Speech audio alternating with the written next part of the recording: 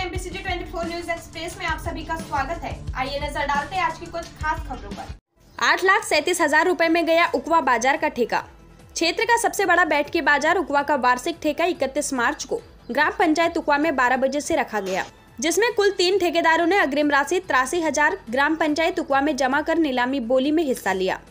ग्राम पंचायत द्वारा सरकारी बोली आठ लाख छत्तीस हज़ार एक सौ तैतीस रूपए रखी गई थी। और सफल बोली बोलने वाले ठेकेदार को तय राशि का 25 प्रतिशत राशि तत्काल ग्राम पंचायत में जमा करनी होती है। बैठकी बाज़ार नीलामी की अंतिम तिथि तथा बैठकी बाज़ार नीलामी की अंतिम और सफल बोली बालाघाट ठेकेदार इंद्रपाल बेलजी के द्वारा आठ लाख सैंतीस हज़ार रूपए की अंतिम बोली बोली गई, जिसके विरोध में किसी भी ठेकेदार के द्वारा नीलामी बोली नहीं बोली गई। और बैठकी बाज़ार एवं सोमवार व गुरुवार गुजरी का ठेका इंद्रपाल बेलजी को दे दिया गया। बाज़ार नीलामी बोली में उपवा सरपंच सुश्री अनुसुईया छत्रिया, नोडल अधिकारी। श्री राम सोनवाने उप सरपंच शिव शंकर तिवारी सचिव, सरिता वलके पंचायत समिति अध्यक्ष, अशोक उइके, सोनबती मणावी, पंच परमानंद पारधी, संजीव अग्रवाल, उत्कल नंदा, रमेश कुमरे जैक्सन सरभांग, सुमित बांगरे, केष्टो चरण, प्रमीला मेश्राम, अंबिका छत्रिया, रामबती उइके, सरिता सोना, तेजस्वनी नाग सविता चौक से श्रीमती उषा गिरे एवं सीएल वैद्य राजू नागेश्वर विशेष रूप से उपस्थित रहे।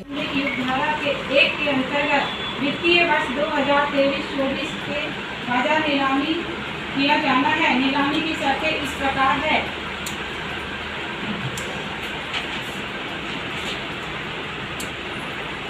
नंबर एक, किसी व्यक्ति को तब तक बोली लगाने की अनुज्ञा नहीं दी जाएगी जब तक कि उसने पट्टे की आरक्षित कीमत का 10 प्रतिशत अग्रिम धन के रूप में नीलामी संचालन करने वाले अधिकारी के पास जमा न करा दिया हो।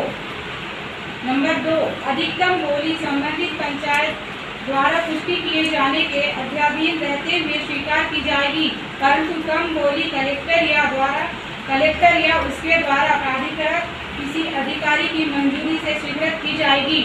नंबर तीन वह व्यक्ति जिसकी बोली स्वीकार की जाएगी, उसकी बोली स्वीकार होने के तुरंत पश्चात नीलामी मूल्य का 25 प्रतिशत जमा करेगा।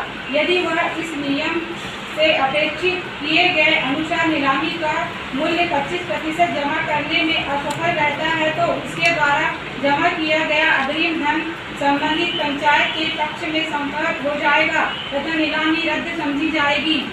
नंबर तीन अतिशेष रकम का भुगतान। ऐसी मासिक या त्रैमासिक किस्तों में जैसा कि संबंधित पंचायत द्वारा विनिश्चित किया जाए, प्रत्येक माह के या तिमाही के प्रारंभ होने के पाँच दिनों के भीतर किया जाएगा तथा बोली की पुष्टि उसे अधिसूचित की जाने वाली तारीख से तीन दिन के भीतर पट्टा विलेख निष्पादित किया जाएगा। यदि वह ऊपर भी निर्दिष्ट कालावधि के भीतर पट्टा विलेख निष्पादित करने में असफल रहता है तो उसके द्वारा जमा की गई 25 प्रतिशत राशि संबंधित पंचायत के पक्ष में संपर्क हो जाएगी तथा नीलामी रद्द समझी जाएगी।